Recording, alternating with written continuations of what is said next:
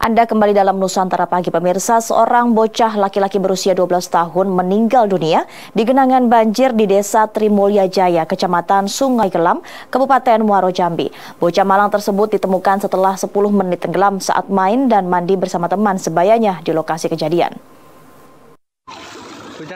Video amatir yang diabadikan oleh warga ini merekam detik-detik saat bocah laki-laki tewas tenggelam di genangan banjir di kanal kebun kelapa sawit plasma milik warga di RT 08 Desa Trimulya Jaya, Kecamatan Sungai Gelam, Kabupaten Muaro Jambi.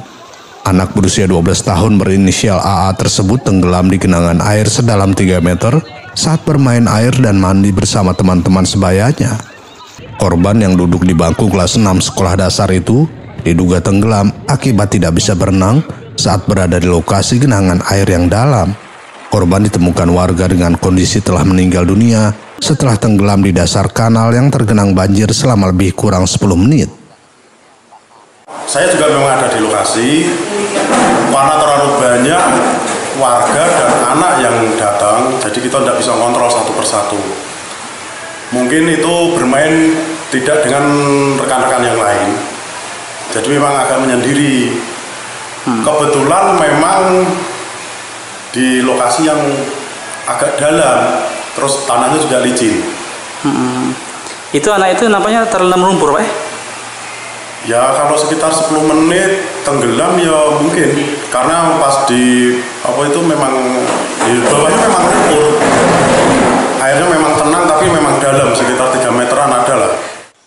Setelah berhasil dievakuasi dari dasar kanal, korban kemudian dibawa pulang ke rumah kakek dan neneknya. Korban diketahui merupakan anak piatu. Ibu kandungnya meninggal dunia setelah korban dilahirkan, sementara ayah kandung korban berdomisili di Batam.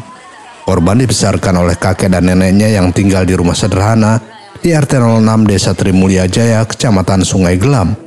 Sebelum meninggal dunia, korban sempat berujar kepada sang kakek bahwa ia ingin makan sebanyak-banyaknya sebelum masuk pesantren setelah lulus SD nanti.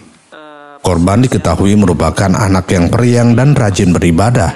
Korban sendiri bercita-cita ingin menjadi santri.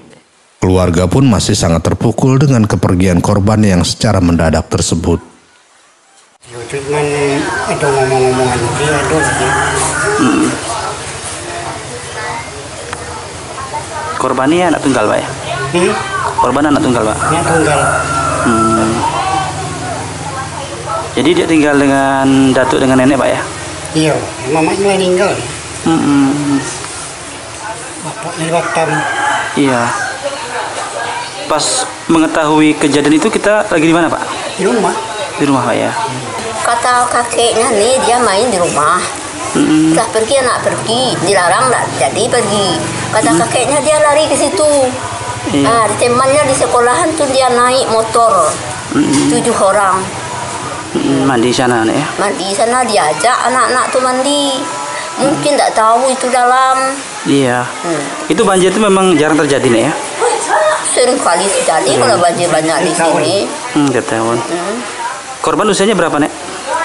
Apa usianya 12 tahun. 12 tahun. Hmm -hmm. Hmm, jadi udah kelas 6. Oh, kelas 6 nih ya. Jadi kemarin kan akan dia bawa ke Jakarta. Yeah. Karena dia akan kelas 6, nanti tidak lulus ujian. Yeah apa nanti masuk pesantren oh, pesantren ya, ya. Sebelumnya, tingginya intensitas hujan mengakibatkan jalan poros dan kanal di Desa Trimulya Jaya, Kecamatan Sungai Gelam, terendam banjir sejak beberapa hari terakhir.